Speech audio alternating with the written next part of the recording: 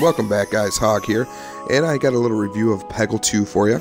The kids and I were browsing games the other day and we saw it for 12 bucks. so We figured, let's pick it up, give it a try. We watched it on the stream for a little bit. They were mildly entertained. So, I mean, it's it's a $12 game.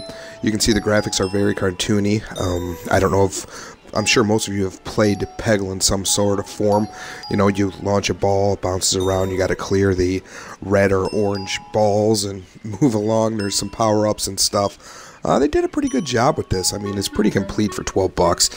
Um, there's, you know, all these levels you can do, and there's different challenges which will keep you entertained for a little bit. Um, there's multiplayer and there's different characters that you can use. I haven't really dug too far into what the different characters do or whatnot. I don't know if they're just there to do something different, but as you can see, the graphics are very cartoony, very uh, entertaining, very engaging. Uh, here's Jefferino here. He's kind of just a slob, so I, I find him really entertaining.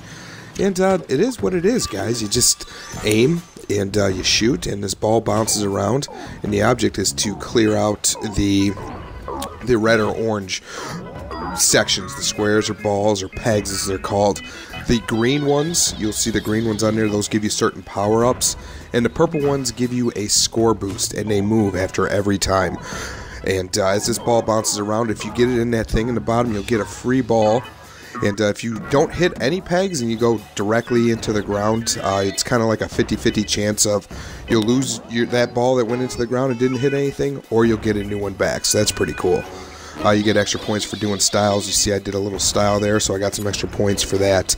Um, like I said, there's a bunch of boards that you can do, and each board has a couple different challenges. This is one of the green power-ups. It uh, tells you where the ricochet is going to go, so you can kind of line up some shots with that. For 12 bucks, it is definitely worth your 12 bucks because it's going to keep you entertained. I'm not going to say this game's going to last you forever. This game is what it is. It is there to play for an hour and some downtime. You only got a half hour to game. You can come in and knock out a couple boards, uh, work on some challenges. There is multiplayer. Um, I haven't messed with any of that yet. I'm not sure if Goat plans on getting this or not, but if he ever does, I'm sure we'll do some multiplayer with that. So you can see I rack up some points there at the end. Yet the ball falls, you got a chance to get 100,000, 50,000, or 10,000 and that's what it is, guys. Uh, I'm enjoying it. I'm not going to play it all the time, but in that downtime, I'm definitely going to play it. So, guys, don't forget to leave a like, favorite, and subscribe, and I'll catch you guys in the next one.